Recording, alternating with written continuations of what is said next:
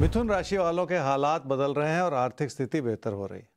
ये इस समय की सबसे बड़ी अच्छाई है जो परिवर्तन के रूप में आपके सामने उभर रही इसी के चलते आप अपनों का ख्याल रख पाएँगे और अपनों की ज़रूरतों को पूरा भी कर पाएँगे। क्या करना चाहिए इस सप्ताह में? अपने पैसे की स्थिति को बहुत ध्यानपूर्वक समझ लेने की और संभाल लेने की ज़रूरत है।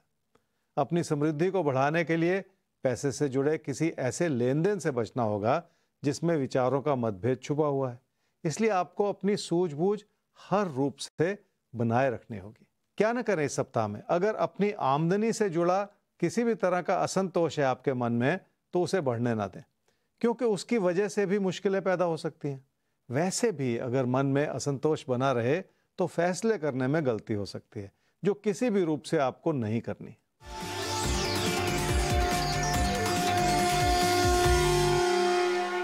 किसी प्रॉपर्टी के निवेश से जुड़ा विचार है अगर आपके मन में तो आप ऐसा सोच सकते हैं क्योंकि समय अनुकूल है और आपकी बेहतर होती हुई आर्थिक स्थिति आपको मदद कर सकती है। इसलिए प्रॉपर्टी को लेकर जो भी आप प्रयास करेंगे, उसमें आपके प्रयास सफल हो सकते हैं।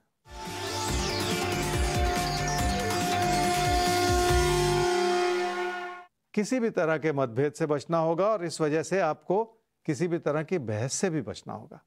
अगर वो बहस किसी पैसे के लेन देन की वजह से है तो और भी ज़्यादा संभल कर चलने की ज़रूरत पड़ेगी। कर्क राशि वालों को अपने काम और कारोबार से जुड़े हालात को लेकर किसी भी तरह का बदलाव करना इस समय ठीक नहीं। कुछ ऐसा लग रहा है जैसे आप अपना मन बनाते चले जा रहे हैं और कोई बदलाव का रास्ता आपको बहुत अच्छा लग रहा है।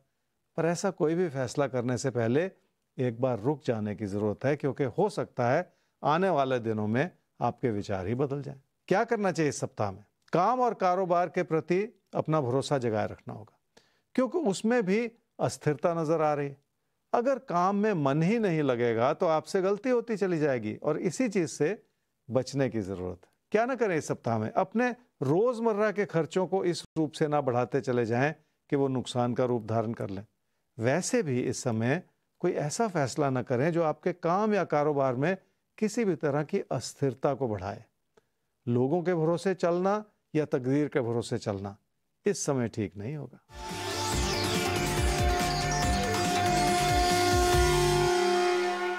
मेहनत करने का समय है जिसके चलते आपको बड़ा लाभ मिल सकता है। काम काज को लेकर भी और रिश्तों को लेकर भी आपकी कोशिशें कारगर हो सकती हैं, पर आपको अपने भटकते हुए विचारों को संभालने की ज़रूरत पड़ेगी। क्योंकि हर चीज़ में अगर मन का भटकाव बना रहे तो उस तरह की एकाग्रता नहीं बन पाती, जिसकी इस समय ज़रूरत है।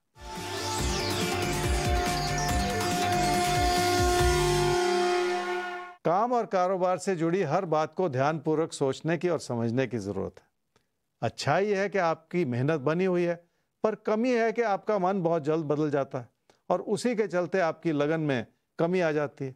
वैसे भी ये समय किसी भी तरह की अस्थिरता के लिए ठीक नहीं है, क्योंकि उससे नुकसान हो सकता है। तो अस्थिरता किसी के लिए भी ठीक नहीं होती है। मन को स्थिर रखना पड़ता है, अपने जो टारगेट है, उस पर अपने आप को फोकस करना पड़ता है, पूरे प्रयास करने पड़ते हैं। इसीलिए हम कहते हैं राजबल के साथ रहिए। हम आपको बताएँगे कि आपका टारगेट क्या है और उसको कैसे अचीव करें आप। लेकिन अभी हम एक बार सवाल का रुख कर लेते हैं और सवाल हमारे सामने जो पहला आ रहा है, वो है नीरज अग्रवाल आपका।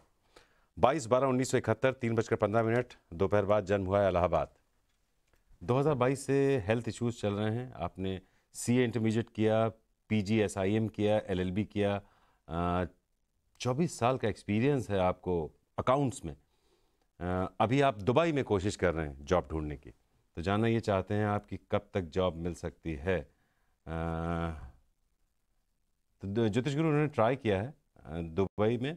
तो कब तक इनको मौका मिल सकता है? अभी इनके पास कोई जॉब नहीं है, बहुत कम सैलरी पर ये प्रयागराज में नौकरी कर रहे हैं। कब तक इनको नौकरी मिलेगी? नीरज जी, आपकी कुंडली है वृषभ लगन की और कुंभ राशि की। आपकी महादशा इस समय चल रही है जी।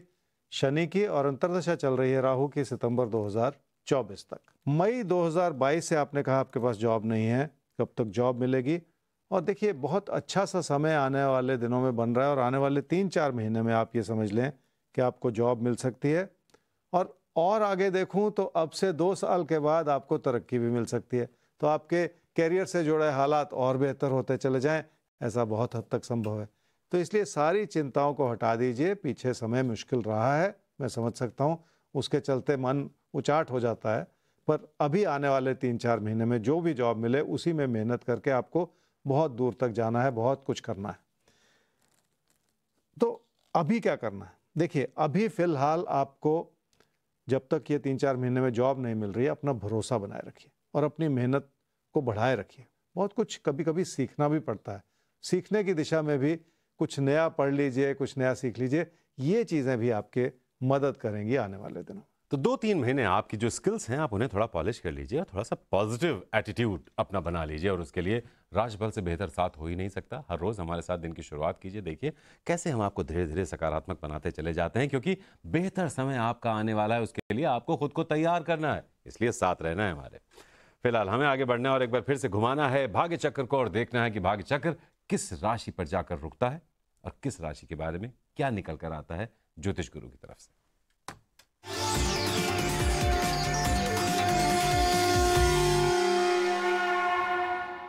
तो भाग्य चक्र खेल चुका है अपना खेल तुला और वृश्चिक राशि अब आपकी तरफ़ हुआ है इशारा। तो बताएँगे आपको आपके अगले सात दिनों के बारे में ज्योतिष गुरु कब क्या करना है, कैसे क्या प्लान करना है आपको अगले सात दिन के लिए। ज्योतिष गुरु, क्या है इशारे साप्ताहिक एपिसोड में इनके लिए? तुला राशि वालों को काम और कारोबार के क्षेत्र में अपने साथी सहयोगियों से तालमेल बढ़ाना होगा, क्योंकि उसी से आप अपनी मुश्किलों को संभाल पाएँगे। बदलता हुआ समय आपकी ज़िंदगी में सुधार ला रहा है। जिसके अच्छे नतीजे भी आपको ज़रूर प्राप्त होंगे। क्या करना चाहिए इस सप्ताह में? उन लोगों के प्रति मन में बिठाई हुई घुटन को हटाना होगा जो आपकी मदद कर सकते हैं। और ये इस समय की अच्छाई है जिसे आपको बेहतर तरीके से समझना भी पड़ेगा। वही लोग आपके लिए मददगार होंगे जो आपके कामकाज में भी आपके हालात को सुधारते चले जाएँ। क्या ना करें इस सप्ताह में? कुछ मुश्किलें दूर हो रही हैं और कुछ मुश्किलों को दूर होने में अभी भी थोड़ा सा वक्त लगेगा। पर ऐसे में पैसे से जुड़ा कोई ऐसा फैसला ना करें जो आपकी मुश्किलों को बढ़ाए।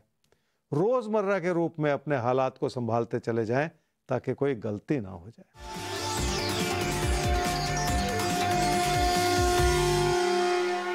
खर्चे बने हुए हैं और इसी वजह से नुकसान की ओर भी एक नज़र रखनी होगी, क्योंकि समय का परिवर्तन बहुत जल्द होने को है। इसलिए फ़िलहाल अपने खर्चों को बढ़ाते चले जाने से भी बचना होगा, ताकि बदलते हुए दौर में कोई गलत फैसला ना हो जाए।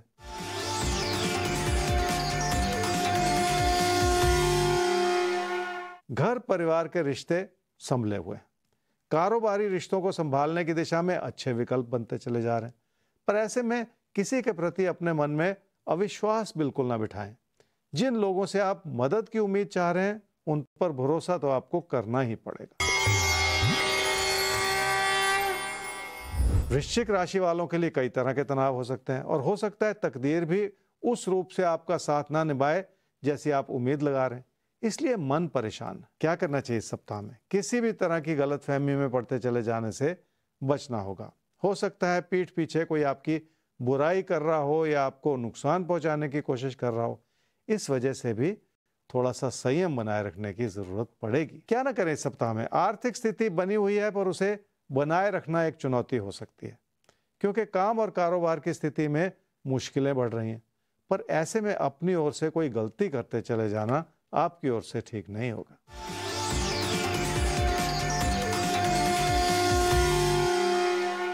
लाभ की स्थिति बरकरार है और अचानक धन लाभ का योग भी बना हुआ है, इसलिए बहुत सारी चीज़ों को गहराई तक समझने की ज़रूरत पड़ेगी। खासकर उन हालात को बेहतर तरीके से समझना होगा जिनमें आपकी ओर से गलती की संभावना है। तो याद रखिए